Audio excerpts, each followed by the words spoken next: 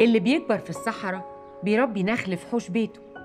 يوم يجي ياكل من تمره أو يستفيد حتى بزيته جوه النخيل سر إلهي شجر مبارك طول عمره. دي العذراء هزت جذع النخل نزلت عليها رطب تمره. أبريم وزغلول ملكابي وبنت عيشة وسماني طقطقت بتمودة وبرجي جرجودة أبيض وحجازي.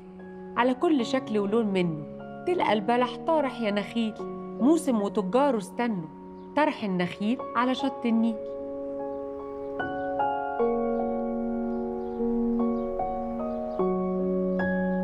صباح الفل يا عم سعد. كل سنه وحضرتك طيبه وحضرتك بألف رشا. صحة وسلامة. وربنا ما يحرمناش من حكاويكي كده. الله يخلي أيوة قول يا رب قول يا رب إحنا لسه جداد ف... ربنا ما يحرمناش من حكاويكي. وتفضل حكاوي ممتدة طول العمر. يا رب حكاوينا. كلنا ما إن يسكت شاء لناش الله. لسان أبدا آمين يا رب المصريين. آمين يا رب آمين عم سعد. حضرتك أشهر واحد وأقدم واحد في سوق البلح ده والله مش أشهر ولا أقدم هو ده بس يعني إعزاز من حضرتك.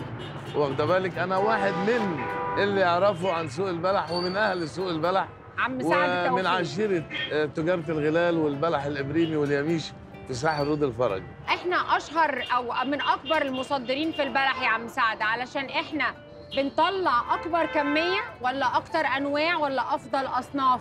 يعني ليه إحنا متميزين؟ الأسباب اللي حضرتك قلتيها مجتمعة. كلها. كلها. إحنا عندنا أكتر من 65 نوع من البلح. عندنا تجفيف ليس له مثيل في أي دولة عربية أو أوروبية. ليه؟ لأن البيئة اللي بيخرج فيها البلح آه، خصوصا إقليم النوبة وقصر إبريم في النوبة عشان كده سموه البلح الإبريمي. إبريمي. وأسوان وبر تموده عشان كده في بلح اسمه برضه بر تموده آه، الأقاليم دي شديدة الجفاف نسبة الرطوبة فيها صفر. فبيكون البلح عندنا مجفف بطريقة محفوظة جيدا فبيطول عمره وتساعدنا على إن إحنا نصدر. فهو كثرة الأنواع. آه في التصدير ينفعك بقى طبعا مش لأنه بيقاوم شوية. واخده بال حضرتك؟ آه رغم طبعا البلح الثاني اللي هو العراقي والسوداني أيوة. الجفاف بتاعه بيكون أقل نص جفاف. تلاقي العراقي نص جفاف ونص طراوة. هو عامل زي العجوة كده شوية. قريب من العجوة شوية. البلح بتاعنا بيقاوم. حتى البلح اللي هو ما بيجففش اللي هو البلح البرحي ده من أفضل أنواع البلح على مستوى العالم والتصدير فيه بنسب عالية جدا. طيب أنت المحافظات اللي بيجي لك منها البلح مثلا بنسمع عن البلح السيوي والاسوان في محافظات أكتر من محافظات بتطلع أنواع معينة؟ طبعا. محافظة أسوان رقم واحد بالنسبة للبلح الجاف. أسوان كمحافظة من أولها لآخرها. يعني ابتداء من مدينة أسوان وانتهاء بإقليم النوبة عند حدود السودان. كل ده نخل بيطلع. كل ده نخل البلح الجاف.